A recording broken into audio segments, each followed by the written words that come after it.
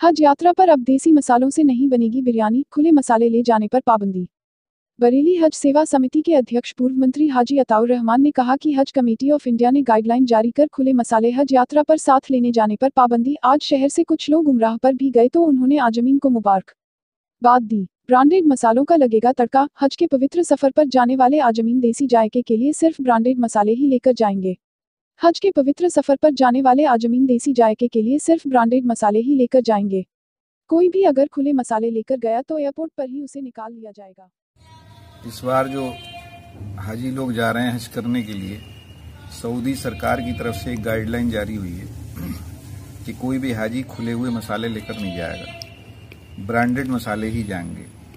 और ये वैसे अच्छी बात भी है, खुले हुए मसालों में पता नहीं क्या हो, क्या ना हो। तो इसलिए अब जितने भी हाजी लोग जाएँगे, उनसे मेरी भी दरख्वास्त है, नहीं तो एयरपोर्ट पे सब चीज़ निकाल ली जाएँगी। तो ब्रांडेड मसाले ही लेकर जाएँ, और जो ट्रेनिंग भी हो रही है, जो ट्रेनर हैं, जैसे हाजी यासीन साहब हैं, ये भी ट्रेनिंग में भी ये चीज़ें बताएँगे क्या क्या लेके जाना है और क्या क्या लेकर नहीं जाना है। तो इसलिए एयरपोर्ट पर किसी को दिक्कत ना हो तो इसलिए वो ब्रांडेड मसाले ही लेकर जाएँ, खुले हुए मसाले ना लेकर जाएँ। और जो भी हाजी लोग जिनको हज पे जाना है, उनकी पहली किस्त है पंद्रह फरवरी तक उन्हें उनको जमा करना है इक्यासी हज़ार रुपये और 20 मार्च तक एक लाख बीस हज़ार रुपये जमा करना है दूसरी किस्त की। आजमीन हज 2019 का हम इस्तकबाल करते हैं। बरेली हज सेवा समिति पिछले कई सालों से आजमीन हज की खिदमत करती आ रही है। इस साल भी हज यात्रियों की खिदमत की जाएगी। बरेली सेवा समिति की जानब से। हज यात्रियों से ये गुजारिश है कि जो भी हज यात्रा पर अपना सामान खाने पीने का या ज़रूरत का सामान जो भी ले जाएँ, वो मतलब फजूल कोई सामान ना ले जाएँ, क्योंकि फजूल समाज, सामान ले जाने में काफ़ी दिक्कत होती है, कस्टम की भी प्रॉब्लम होती है और लगेज की भी प्रॉब्लम होती है। तो हज कमेटी ने, हज कमेटी ऑफ़ इंडिया ने दिशा निर्देश जारी कर दिए। उसी हिसाब से अपना सामान जो है हज यात्रा के दौरान ले जाएँ साथ में।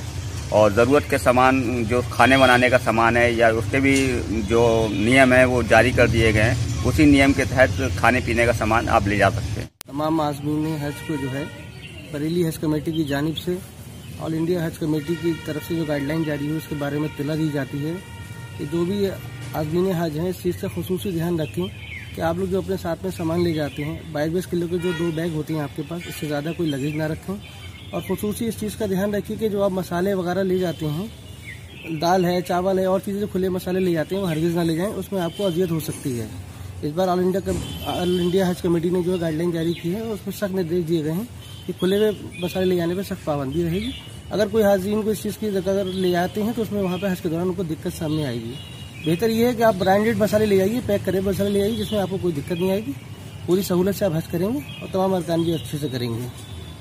और जो भी जारीन हमारे आजमीन हज के जो भी लोग जाना चाहते हैं हज को उनके लिए एक निर्देश ये भी है कि आप लोग जब जाएँ तो अपने हैंड बैग में जो भी सामान लेकर के जाएँ तो वो आपको ज़रूरत का सामान हो। अगर अगर मेडिसिन आपकी कोई है, कोई दवाई आपकी चल रही है, हम तो दुआ करते हैं, अल्लाह पाक आपको उसमें शिफाता फरमाए।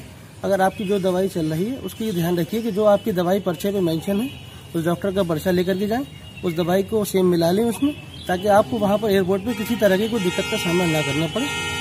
और अपने हैंड बैग में ये ध्यान रखिएगा, दस किलो का आपका हैंड बैग जाएगा साथ में और बीस बीस किलो के दो बैग जाएँगे। जो और सामान जैसे नेल कटर है कैजी है या नाइफ चाकू वगैरह है, ये चीज़ें अगर आप ले जाना चाहते हैं, वहाँ ज़रूरत पड़ती है आपको तो वो आप अपने लगेज में रखिएगा। हैंड बैग में कोई तरह की चीज़ की ना लेके जाएँ, इसमें आपको वहाँ पे दिक्कत और दुशारी का सामना करना पड़े। आजमीन हज 2019 को बहुत बहुत मुबारकबाद। और हाजी अपने साथ में लगेज के अंदर बाईस बाईस किलो के दो बैग ले जा सकते हैं। और हैंड बैग के अंदर आप दस किलो का सामान ले जा सकते हैं।